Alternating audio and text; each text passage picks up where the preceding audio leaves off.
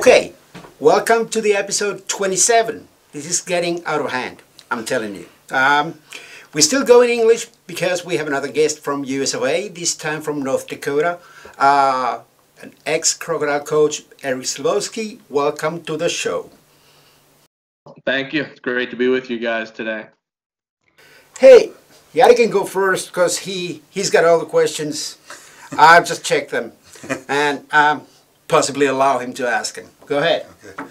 No, uh, just uh, how you been and uh, what you've been doing uh, after you left Finland. I know you've been here after that too, but uh, kind of like a secret mission here or something like that. But but what what have you been up to? You you played. Uh, I mean, you coached here 2000, uh, two, uh, 2010. Yeah. I did. Yeah. Yeah. I was there. Um, I believe I was in San Seinäjoki for two seasons, 2009 and 2010.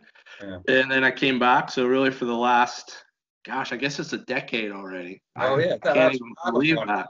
Yeah, ten years. We've all we've aged ten years since I was last. Oh, no, no, no, no, no, no. It's the kids who are getting older. We're not. We're not. Okay, I'll I'll go with that. I like that definition much better. Um, yeah, last ten years. Uh, really a combination of different things. I have been back over to Finland a few times. Been fortunate to do that. Um, but uh, been doing a lot of teaching. Um, mostly at the university level. To, uh, was teaching at a, a, state college for a while in West Virginia, out on the east coast of the U.S. so I was living about. Um, I lived near the Baltimore area for a little while, and and um, but in West Virginia, I taught at a university for about six years.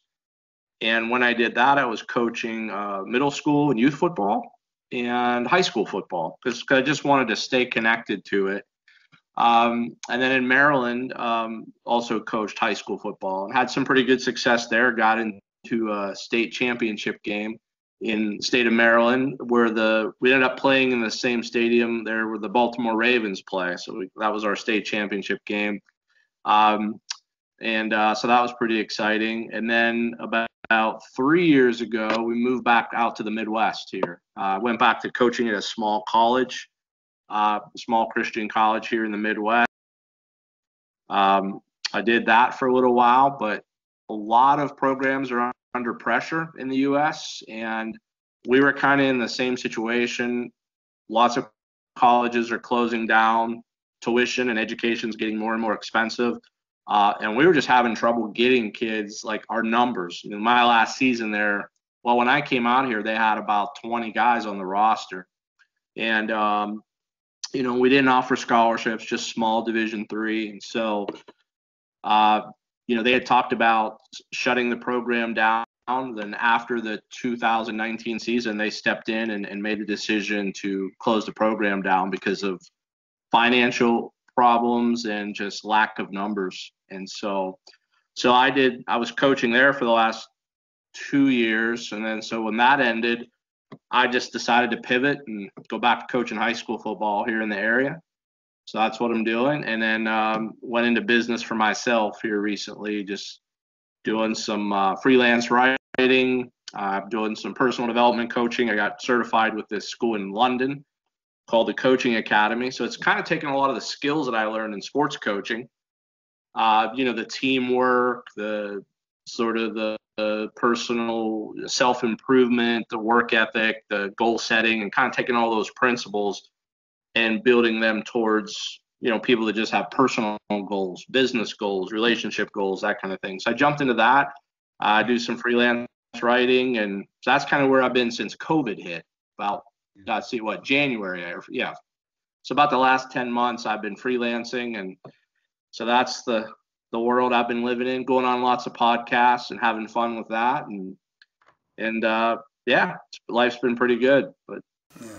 I I remember your your kind of like uh, not lesson, but uh, the the introduction you did uh, with uh, our company about the. Uh, coaching and uh, sports and uh, teamwork in companies and it was great and uh, our people like it and I'd like to have you doing that uh, here in Finland again some sometime in the future. But uh, we'll see what happens when we get these uh, travel things right. Hey, um, how much do you follow NFL and, and, and who do you root for? Well, I grew up in this little town called Latrobe, Pennsylvania, and um, same hometown where the the well the pro golfer Arnold Palmer actually from their past few years back. But the other distinction of this town is it's considered the birthplace of professional football. So Canton, Ohio, got the um, the Hall of Fame, but it was kind of a wrestling match between whether Latrobe, Pennsylvania, would get it or Canton. Canton won out because they've got some history too. But we actually had the birthplace of pro football and also the first professional game that was played in Latrobe. So I grew up with this just kind of, you know, football in my blood, so to speak. And then I, of course, I had to be a Steelers fan growing up, like in the shadows of Pittsburgh. And the Steelers have their training camp in my hometown. So there's a small college there called St. Vincent College. So that was an annual ritual for me every summer as a kid growing up. And I, you know, I was growing up when all the old Steelers, the old Hall of Famers, the Terry Bradshaws, oh, yeah. uh, and, and and Jack Lamberts, and all that group. A lot of them are in the Hall of Fame. And so that was my team. It still is my team. Who's going to be the president of the United States? Gosh, that, that your guess is as good as mine. You know, if you go by the polls over here, then the polls say it's going to be uh, Joe Biden. I mean, he he's got these by some estimates eight points, ten points, twelve point leads and they're not quite as big in some of the swing states, uh, sort of the battleground. Well, Pennsylvania is one of those swing states, my home state. Some people say he's up by maybe two, three, four points in those states. But um, if you don't believe the polls, uh, which the last time this happened four years ago, the pollsters were wrong. You know, it's kind of like everybody put their money on the Patriots but the Patriots didn't win, you know. Hey, back to Finland. What, what are your best memories from Finland? Wow, that's. I think I could write a book on that. You know, and I've literally written stories about this, and people have asked me to come in and talk on Finland, and you know, there's always so much curiosity about the Finnish culture in America, like your education system, your you know your saunas your your way of life and then then these these national or these international things right? Finland happiest place in the world you know.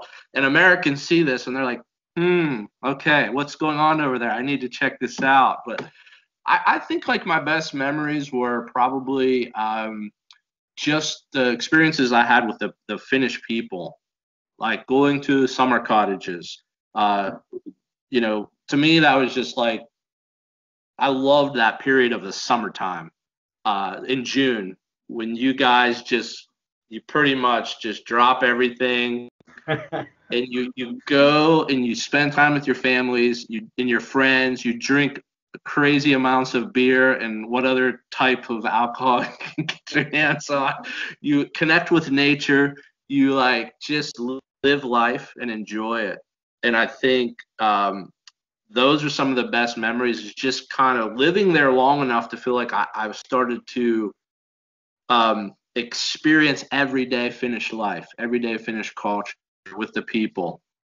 Hey, we, we would talk here forever, but uh, it's kind of like time to start uh, closing this thing and uh, it was really pleasant to meet you in a by, by picture again and uh, when are you coming back to Finland? As soon as I'm allowed. Oh, yeah. Most welcome. I think it's closed off off now, but maybe once it opens back up, I'd like to get back over. Yeah. Um, yeah. You, you, know, we, we were looking at, it's been about three years, I think three or four years since I went through, but um, yeah, I'd, I'd, definitely like to try, try, to get back within the next couple of years once things open up. Hey, hey thanks, for joining, joining us. us. And Thank you. Perhaps, perhaps we will, we will see, you again. again. I hope so. I hope so. Thanks so much for the opportunity. Great catching up and really enjoyed the conversation, guys. Thank you. Okay, thank you, and uh, hope, hope good luck to the Steelers too.